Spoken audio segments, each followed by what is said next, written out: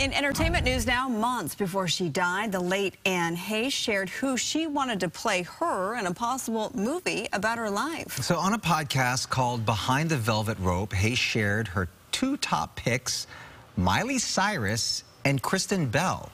Heche told the host both Cyrus and Bell shared a, quote, ability to face the world in a way that I would want portrayed. Heche said Miley Cyrus is a pure artist, engaging with the world, and a great actress. Heche said Kristen Bell uh, can tell a story with joy, personality, charm, gorgeous timing, and humor.